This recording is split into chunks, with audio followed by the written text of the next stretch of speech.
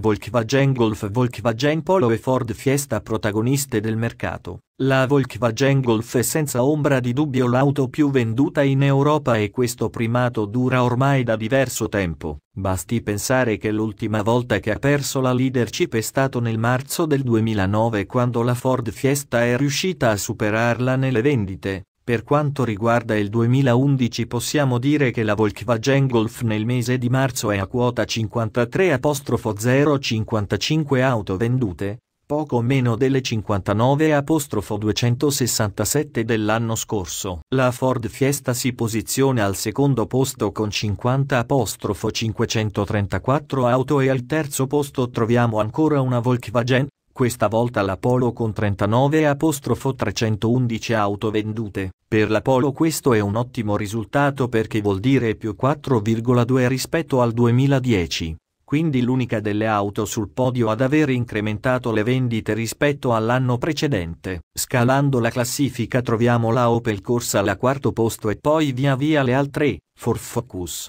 Renault Clio, Peugeot 307, Renault Megane, Citroën C3 e ancora una Volkswagen a chiudere la top 10 con la Passat. Le ultime posizioni della top 10 sembrano essere ancora incerte dato che la differenza delle vendite è poca, mentre per quanto riguarda i primi posti tutto sembra consolidato.